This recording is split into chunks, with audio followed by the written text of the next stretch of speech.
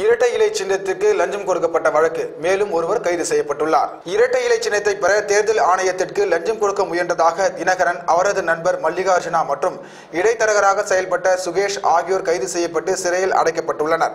இந்த வழக்கில் ஜாமீன் கேட்டு டெல்லி கோர்ட்டில் மனு தாக்கல் செய்தார். இந்த மனு மீதான விசாரணை இன்று நடந்தது. அப்போது இரட்டை இலை சின்னத்திற்கு லஞ்சம் கொடுக்க முயன்ற வழக்கில் பாபு பாரத் என்பவர் கைது செய்யப்பட்டுள்ளதாக போலீசார் சார்பில் ஆஜரான வழக்கறிஞர் கூறினார். இதனைத் தொடர்ந்து தினகரன் ஜாமீன் மனு மீது விசாரணை மே இருபத்தி இரண்டாம் தேதிக்கு ஒத்திவைக்கப்பட்டது.